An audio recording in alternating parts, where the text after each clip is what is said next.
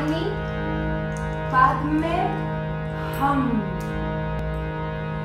And of course, you can close your eyes and meditate. It's perfect, but it multiplies the effect when you sing, when you chant out loud. It's a little bit more powerful that way.